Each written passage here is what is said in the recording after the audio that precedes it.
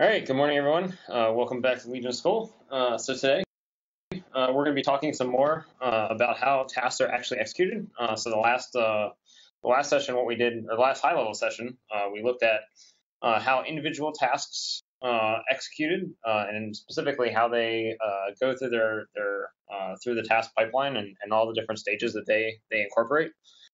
today, what I want to do is actually talk uh, through one last piece of the individual tasks, the aspect of the individual tasks execution, um, and then we're going to get into the uh, index-based task launches to see how they actually execute. Okay, so to remind everybody where we were, uh, I'm going to go back uh, into legiontasks.cc, which is where we have all of our code uh, for for our task objects. You recall that there's a, a base task op uh, and then we inherit from all of that for all of our different task kinds. Uh, and specifically, the last time we were looking at single task uh, trigger execution, uh, uh, which is what was um, which provides you know the base execution model for both individual tasks and point tasks. So the single task class uh, is you know the, the abstract base class for both individual tasks and point tasks, and it's the one that provides all the context and information for executing uh, actual tasks on real processors. Uh, so you recall the last time what we did uh, during our session was we actually went through this uh, trigger execution uh, method for single tasks in a great uh, level of detail, and we saw about all the different stages of how tasks execute. start off executing locally by processing through this this bottom part of the this bottom part of the, the function first, and then if they get sent remotely by the mapper, uh, you know, we have a separate path up here at the top that handles the remote case, uh, where we actually get sent uh, to remote nodes and we have to possibly map and, and then execute ourselves uh, remotely.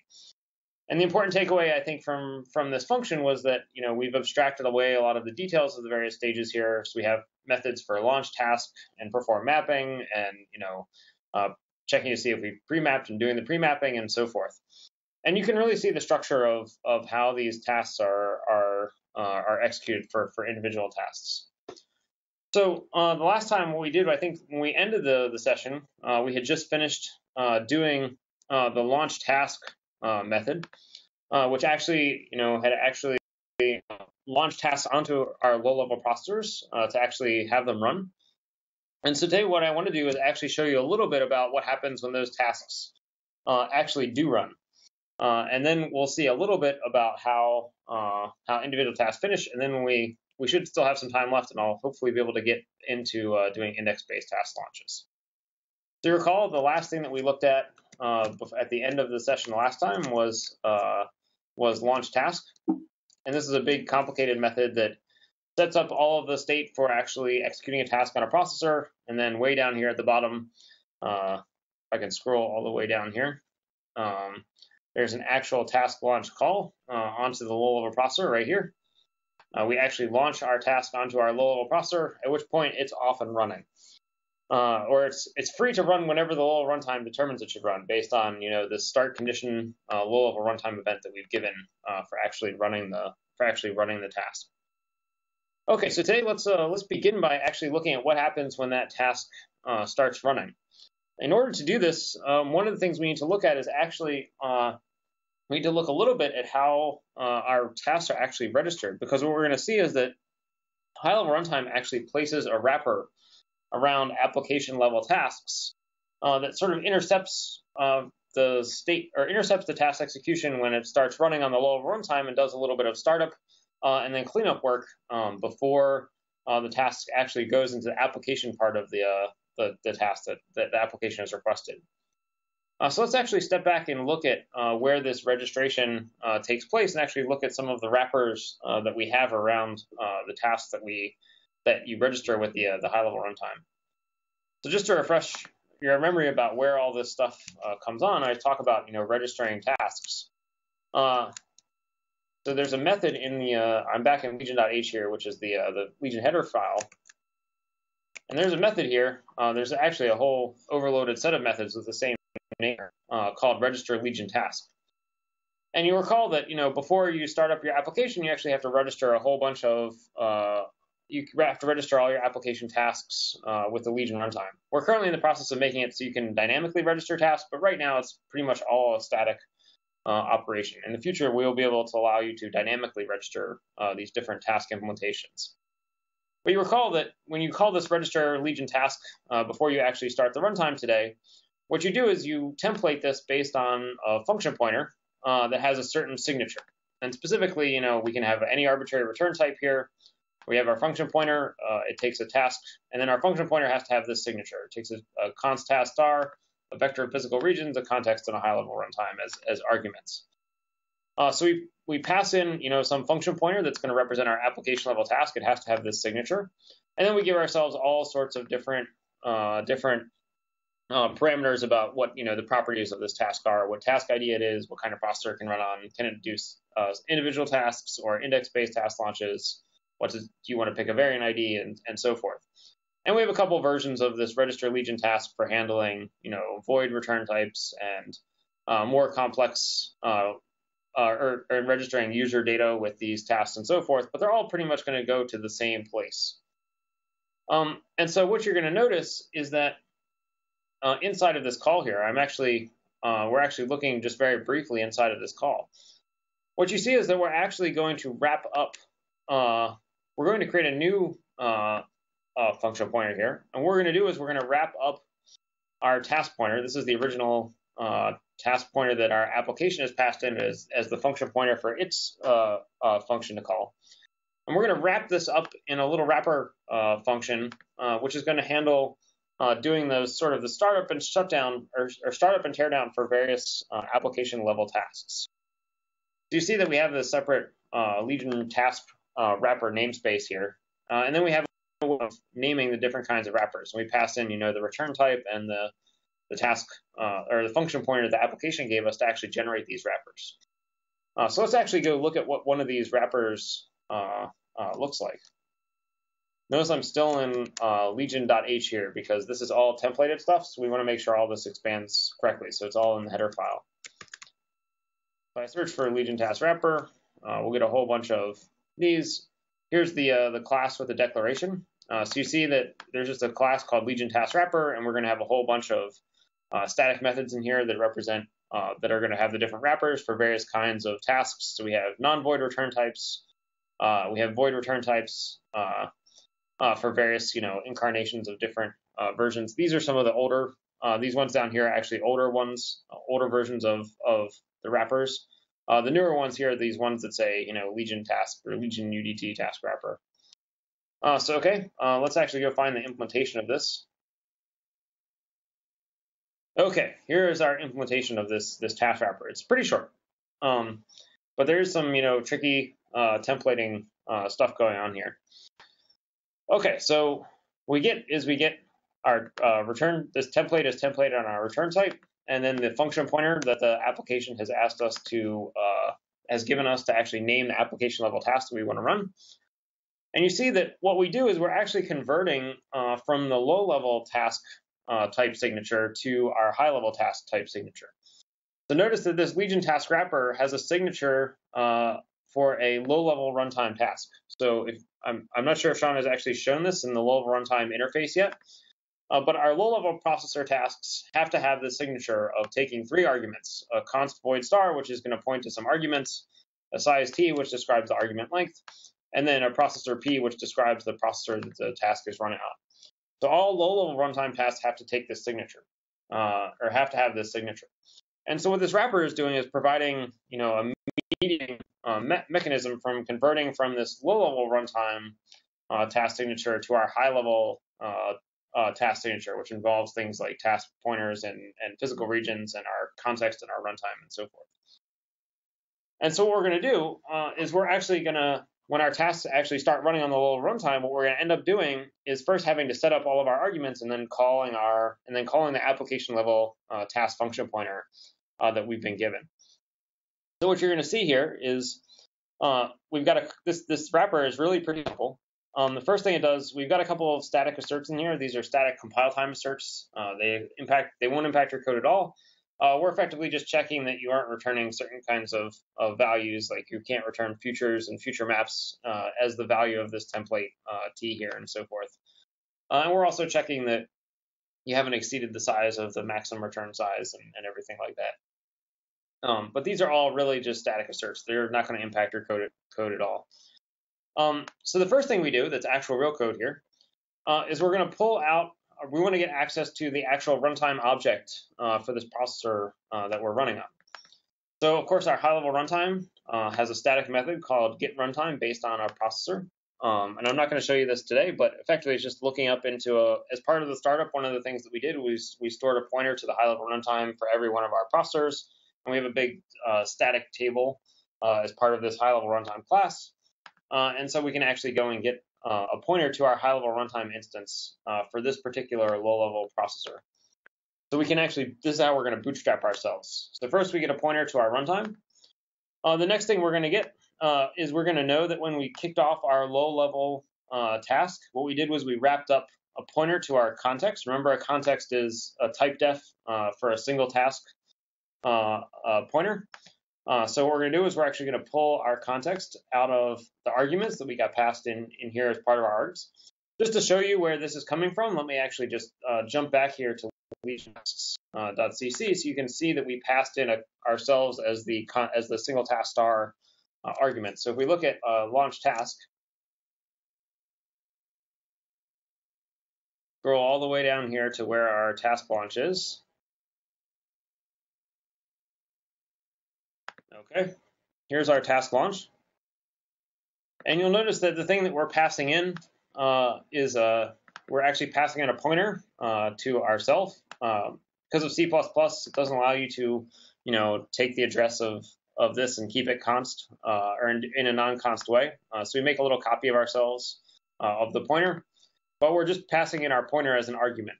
so we're taking the address of this and size of, of our pointer, and that's the argument to our low-level uh, runtime task that we're kicking off. And so when we come back here into our task wrapper, uh, jumping back to, to legion.h, uh, and are searching for uh, legion task wrapper. Uh, so when we come down here into our low runtime, or into this task wrapper, when we get invoked by the low runtime to actually run this task, we know that this args uh, is always going to be a pointer to a is always going to be a, a context pointer or a single task pointer. So we're doing is we're unpacking uh, that single task pointer. Remember, a context is the type def for a single task uh, pointer. Uh, so we get our context uh, out of the arguments that we passed in uh, to the low runtime. Effectively, it's just handing it back to us. And then once we've got that, what we can do is we can actually call to a method here to actually say begin our task. Um, uh, to make sure to get our arguments based on uh, you know the set of regions uh, that we're that we've mapped as part of our as part of our mapping. Uh, so this is how we get a reference to our, our set of physical regions that we've mapped uh, for this particular task. Uh, we call this begin task call. I'm not going to get into it today, but begin task is really pretty simple. It you know starts up some profiling information if you've asked for it, and then just returns these regions. It doesn't really do very much. it's a very simple method call. Um, so, but this begin task will give us back a, a, reference to our vector of physical regions that were mapped. And then what we can do is we can actually invoke um, our uh, our uh, uh, the application level task uh, that, that we've been given as a function pointer here uh, from from the template arguments. And so we store our return value uh, as the result of invoking our task. we do a little reinterpret cast here on this task uh, star pointer because uh, it actually doesn't know uh, in legion.h that a uh, context star is the same as a is is you know inheriting from from task star. So we have to have a little reinterpret cast here. Uh, but it's it's always guaranteed to be true. Uh, so there's no re reason to worry about that. We pass in our regions, we pass in our context, and we pass in our runtime. And our application tasks then have access to all of those different things to match up with this type signature that we've required all our application tasks uh, to abide by. Okay. Um, and then the last thing that we do uh, inside this task wrapper is after we've gotten our return value back, uh, what we want to do is actually end our task and mark that uh, and, and, possibly uh, serialize this value that's been returned to us. Uh, so applications can actually return uh, complex types.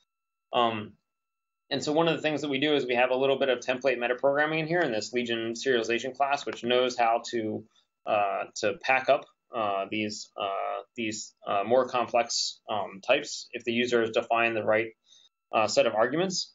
Uh, but ultimately, what it's going to end up doing is calling a method very similar to this one, saying runtime arrow end task with our context, and then a point, and then our future return, and then a buffer with our packed future return value. actually, I can just show you uh, what the signature is for for end task. Uh, if I search for begin task, uh, there's a bunch of begin task calls in here, um, but somewhere up here at the top of our runtime, uh, once we get down, here we go. Uh, you can see that you know uh, our runtime supports a begin task and an end task method. These are one of the few private methods that we show on the high level runtime that we have to expose through, so we can have these wrappers in the header file. But you can see, you know, the begin task has, we pass in our context and we get back our, our reference to our vector of physical regions. And you see the end task call will just end up passing in the context uh, a pointer to a buffer containing the result of the task uh, size, and then a little boolean saying whether or not uh, the memory, uh, the runtime should take ownership uh, of the this buffer that's getting passed in. Uh, so it's really, really very simple. Um, so this wrapper is, is really pretty, pretty simple. Uh, we're really just uh, starting up, grabbing the arguments for the task, calling the application level task, and then packing everything up and, and telling the task that we're done. Uh, we're actually going to go look at end task uh, in a little more detail here in just a minute, but let me actually just show you there's a couple different variations of this wrapper. Uh, so this was the one for, for typed, which actually has return types. Uh, there are also versions, because C++ is a little bit weird, you can't actually instantiate a template type name with uh, T with a void uh, type. So we have to have a separate wrapper here for void return types. Uh, so this, this function is really doing the exact same thing, except at the end here, it can just call end task directly without needing to do all the fancy uh, template metaprogramming. Um, and then we have also have these UDT wrappers, uh, which effectively allow us to unpack uh, some user data types or user data that the application has registered as part of this task's uh, execution. Uh, and really, you know, we're just unpacking a little bit of extra information uh, from uh, the actual task implementation and passing it through to the task. Uh, but everything else is pretty much identical to the other kinds of, of task wrappers. And then we have a void return type uh, uh, for UDT as well. And most of these other wrappers that you'll see in here, these these other high-level wrappers, are really just deprecated code from earlier versions of the Legion runtime when we had other signatures for for tasks.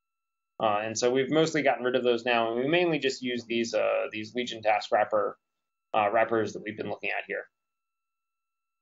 Okay, does any questions about these wrappers before I go on and actually look at the uh, the calls to begin and end task uh, and dig into those in a little more detail?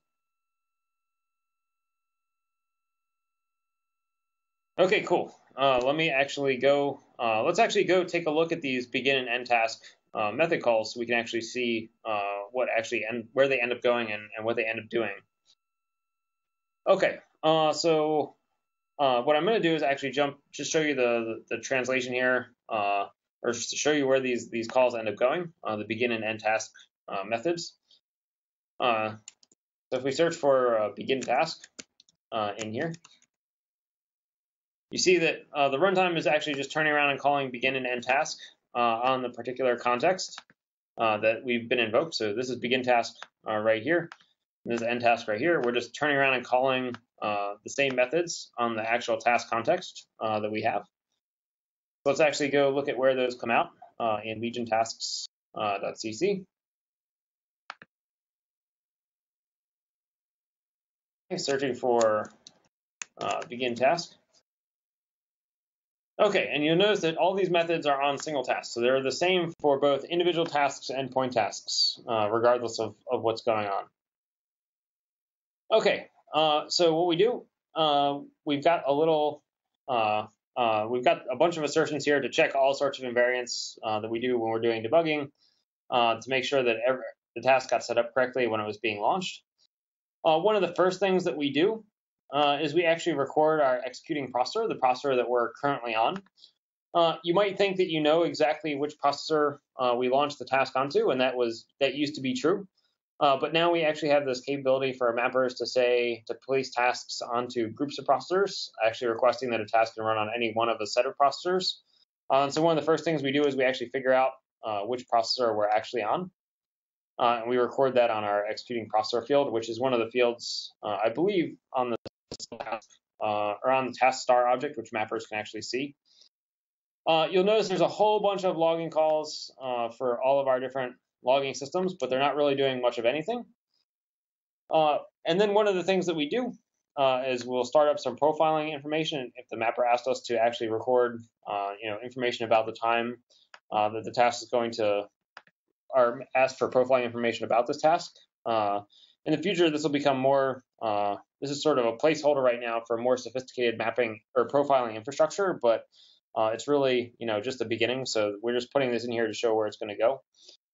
Uh, one of the things that we do do uh, is we actually call this method uh, here called decrement pending on our parent task context. And you'll recall that when we talked about the the scheduler for our mapper for our for we, we actually talked about how our mappers go about scheduling tasks. One of the things that I mentioned was that uh, the mappers have a way, or our processor managers actually have a way of tracking how many contexts are far en- have mapped far enough ahead. Uh, and what this call is effectively doing is mark telling our parent task context that it now has one more uh, outstanding child task which has started running. Uh, and so that task can no longer be considered, you know, mapped uh, and and not running yet. Uh, and this sort of gives a hint to the or gives the uh, the parent context the ability to activate itself so that the processor manager can start invoking the mapper again for this uh, parent task if if there aren't enough outstanding uh, map tasks uh, if we haven't effectively run far enough ahead into the future. so I'm not going to show you where this goes today, but effectively you can think of this decrement pending as saying we know we used to the parent context is tracking how many outstanding tasks have been mapped but haven't started running yet. And once we have enough of those, we can tell our mapper we're done. We're going to stop mapping for a little while. Uh, and so by decre- once we start running, we actually decrement this count uh, to actually mark that uh, we no longer have this ta- this task can no longer be considered mapped and outstanding. Uh, it's actually started. And so it might be a good idea to actually start uh, invoking the mapper again uh, and and start mapping ahead again into the future.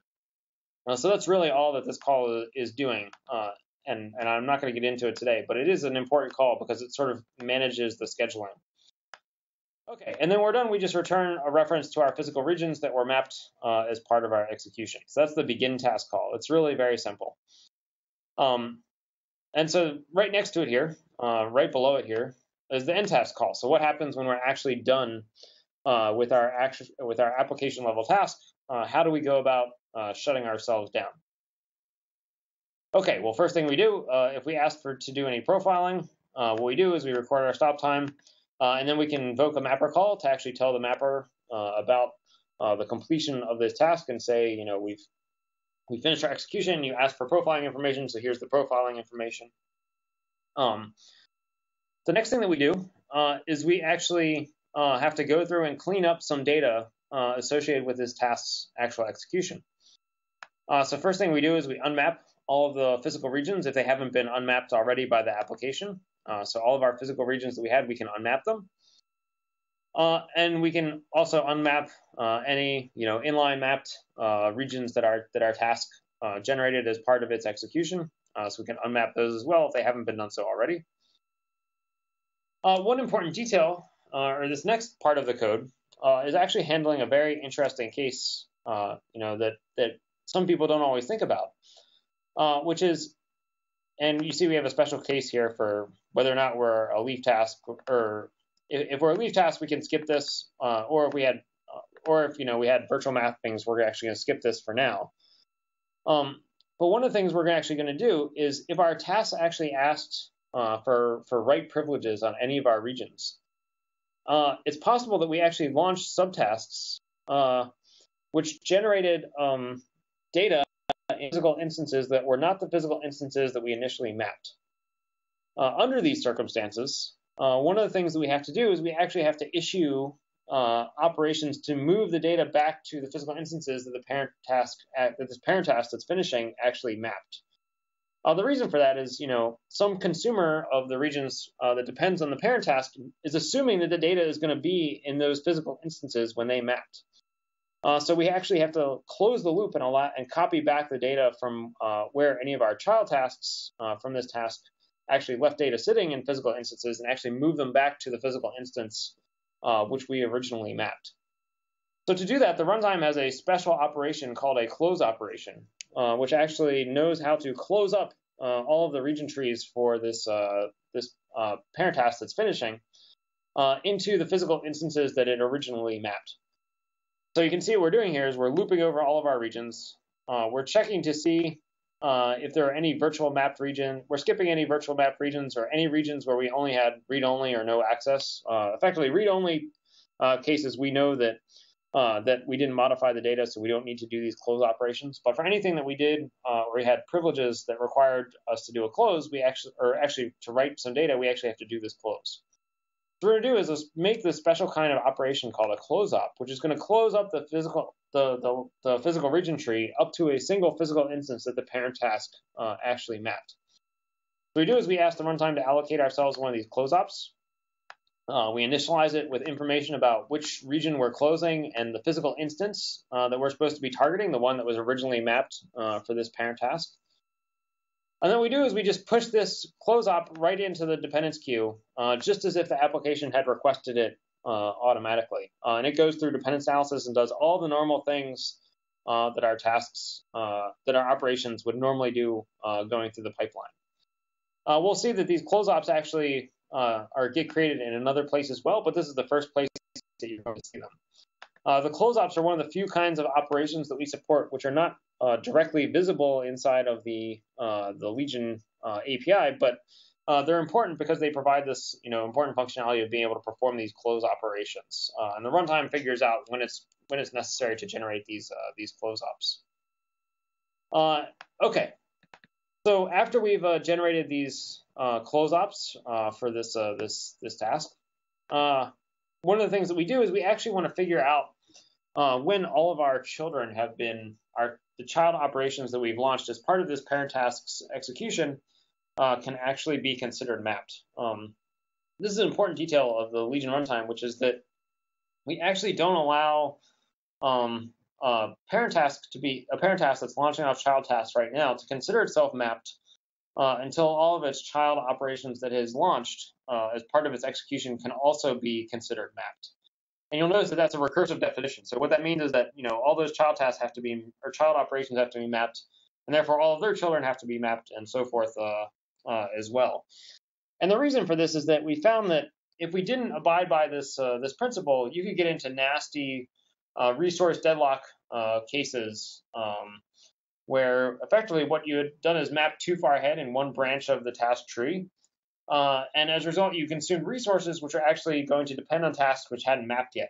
And if you mapped up and used up all the memory in your system, uh, and then those other tasks couldn't map, uh, they couldn't run to satisfy the dependencies.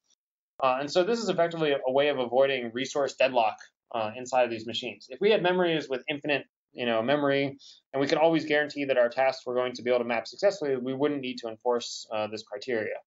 But we know that resources are finite, uh, so we enforce this invariant that parent tasks can only consider themselves mapped once all of their child operations uh, have also considered themselves mapped. What we want to do, uh, what we do is we actually keep a low-level runtime event uh, that we use to track uh, when all operations have mapped. we'll see where this gets used a little bit later.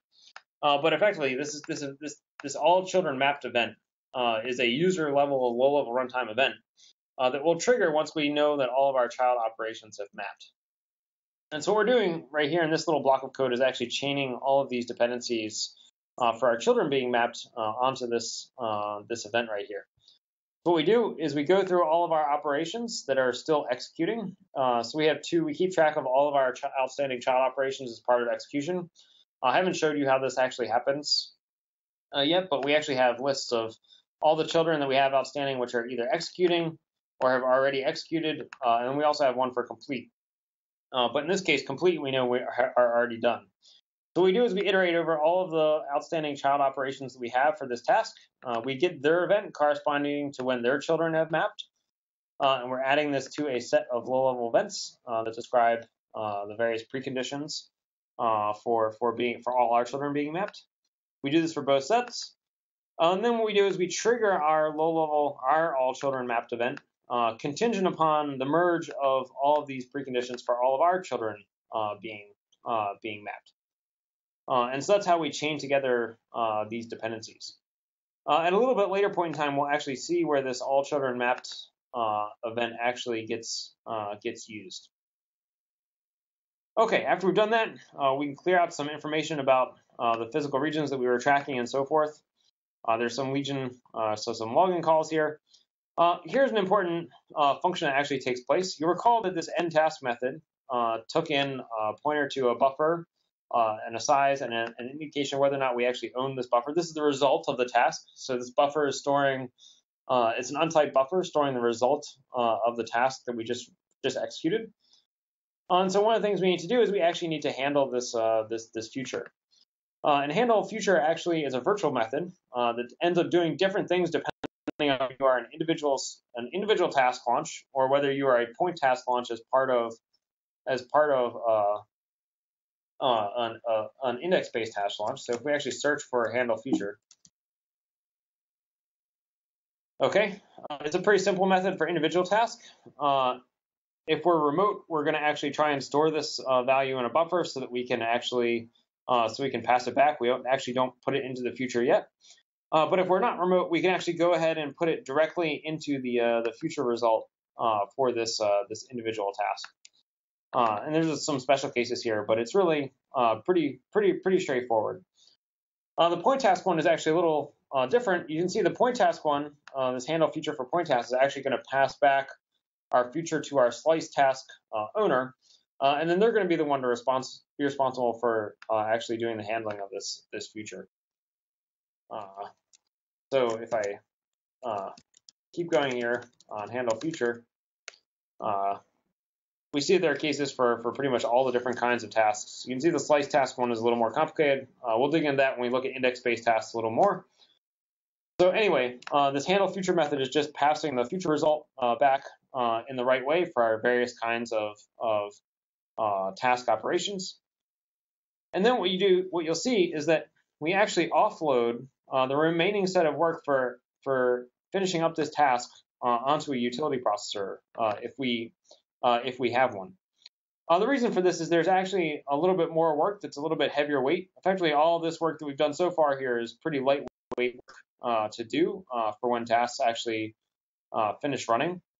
Um, but what we want to do is actually offload some of the potentially heavier work onto a utility processor so we can get effect, if you recall that this is when we're still here in end task, we're still running on the application uh, uh, processor. So this is a low runtime processor that's been dedicated uh, specifically for application level tasks. So while this stuff is all light enough to do directly on that application level processor, uh, some of the remaining work is actually heavy enough that we need to uh, to actually offload that onto utility processor if we have one.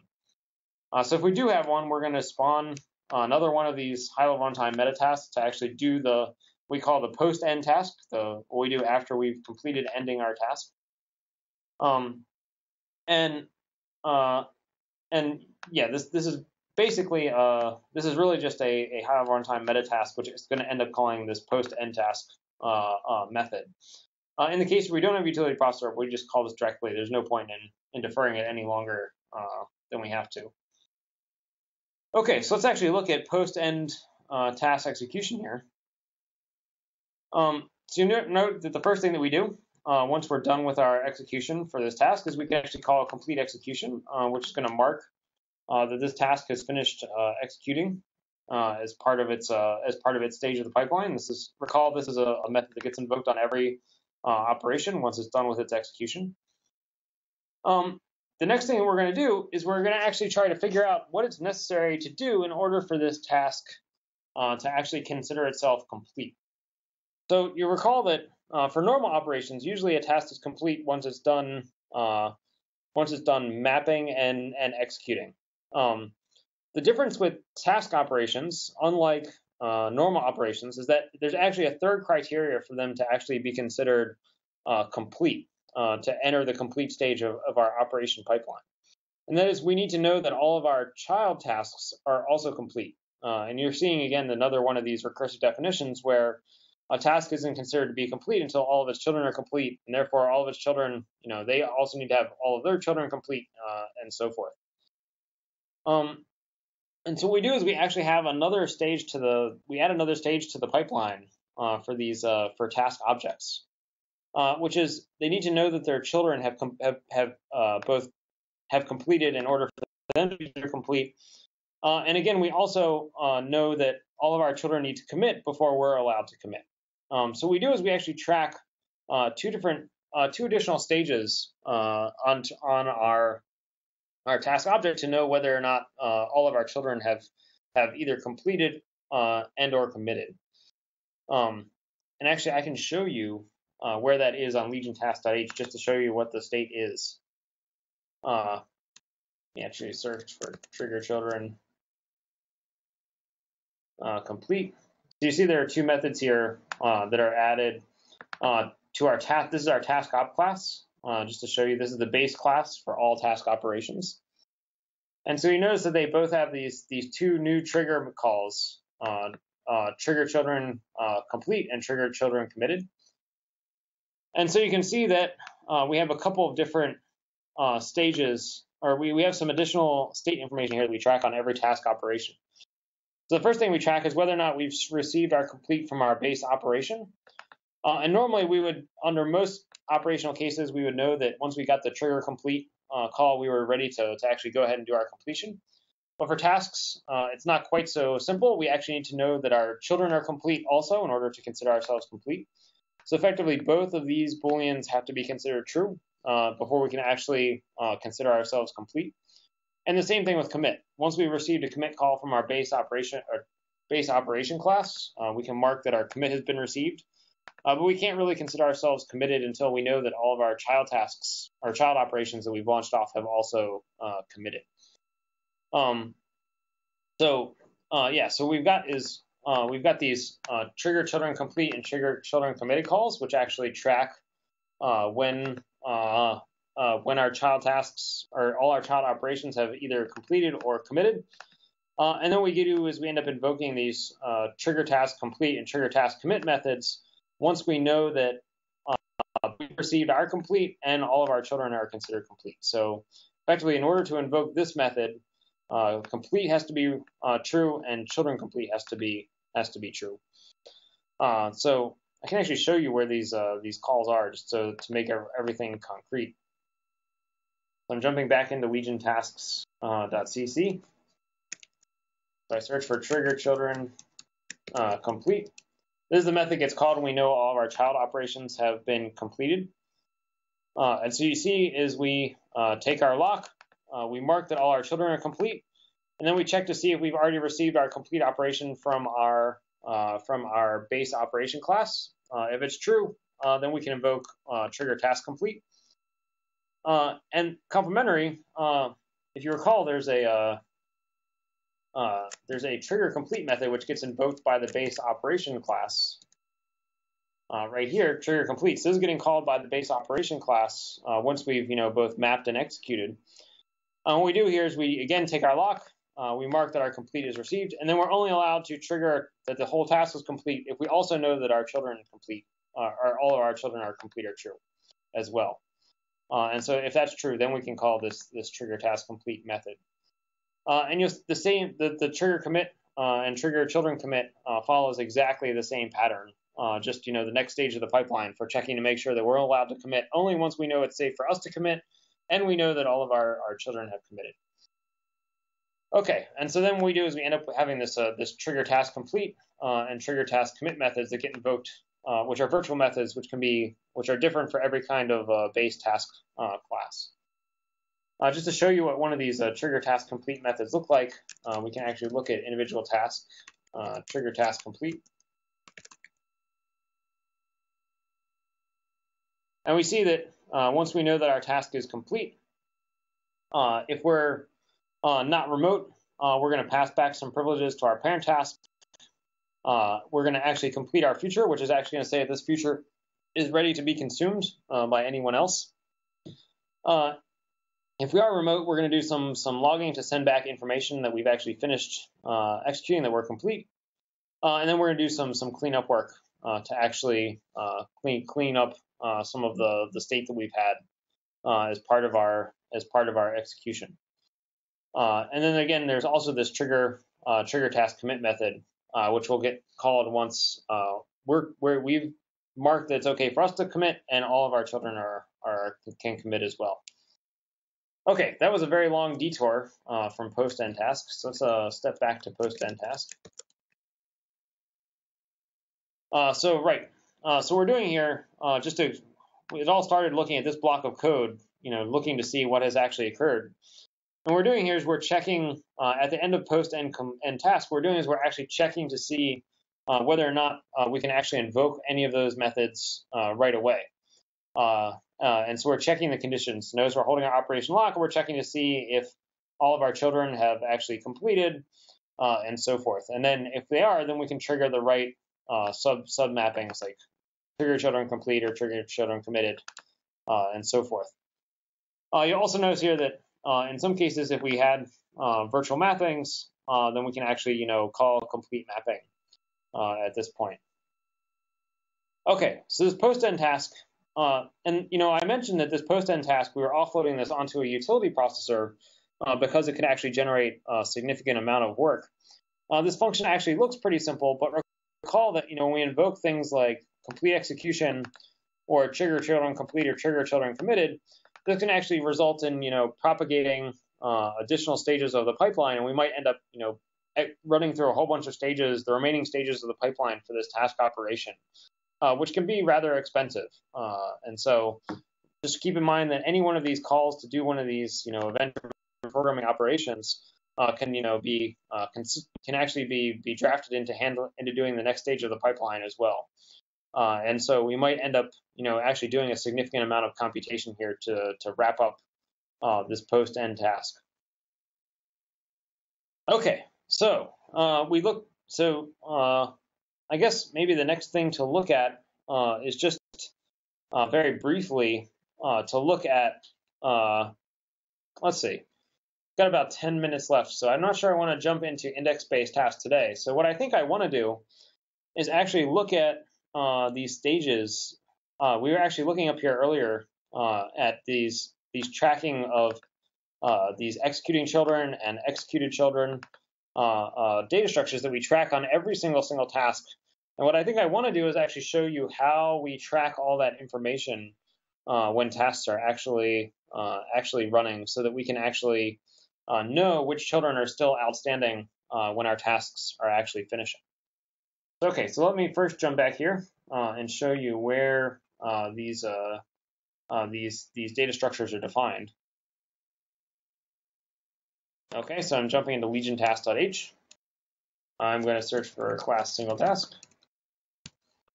Here's our single task class. Scroll past all the methods it supports.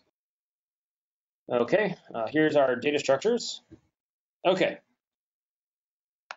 we have three data structures here uh, that are actually tracking uh, the state of all of our various outstanding child operations that we've launched as part of the execution of this, uh, this single task.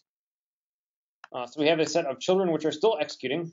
These are ones that are still in flight, that are that are yet to that are either you know have yet to map or are actually executing at the moment. Uh, we we actually don't need to distinguish between those two. Uh, it's not necessary as long as they're in flight, uh, then we we don't really care. we track all of the children which are executed to actually know the ones that are executed but haven't completed yet. and then finally, we have an example of this, you know, would be if we launched a bunch of child tasks uh, which have all finished uh, executing, uh, but haven't actually had their children finish, uh, or actually haven't had their children uh, complete yet, and therefore they can't consider themselves complete. Uh, and then finally, we have a list of all of our outstanding operations which are completed but haven't yet haven't yet committed. So, so these are our three different data structures that actually track the state of all the different operations uh, that are outstanding uh, inside of our inside of our uh, our task operation. Just a brief comment on this data type here. Uh, you notice these are labeled Legion sets. Uh, these are just a wrapper around a basic STL set data structure. But one of the things we do is we have a little bit of infrastructure to actually track memory usage for certain data structures that can tend to be rather large. Uh, and so this, you know, executing child alloc is a is a enum uh, that's actually naming an allocation pool of memory, uh, effectively all tracking how many executed children uh, pointers we've stored all over this all over our, our node. Uh, and so we have a way of, of instrumenting our memory usage of various internal data structures inside the high-level runtime. Uh, so anytime, anywhere you see one of these Legion sets, uh, you can just rename uh, that data structure in your mind as as an STL as an STL set, uh, just with a custom allocator that's tracking uh, some allocation of that memory. Uh, and actually, it's actually when we turn off the the allocation tracking, it just defaults back to a normal STL STL set with all the various with all the, the base kinds of information. Okay, let me actually show you how these three data structures uh, get updated to actually track all the outstanding operations uh, inside of a subtask or inside of a task that's executing. Okay, so uh, actually, uh, let's actually jump into legiontask.cc. Uh, we'll actually see where these, uh, actually, I've forgotten the names of these methods. Let's jump back to legiontask.h. search executing children. So I believe up here in all these methods on uh, on single tasks, here we go. Uh, there are a whole bunch of uh, calls here uh, that we have on uh, task uh, on single task objects that actually allow us to indicate that certain operations are entering different stages of this pipeline. So register child operation we'll put it in the executing pool Register child execute will move it from the executing to the executed pool. Register child complete will move it from the executed pool to the complete pool, and then register child commit will remove it from the complete from the complete uh, pool. Okay, so let's actually look at these methods uh, inside of legiontask.cc.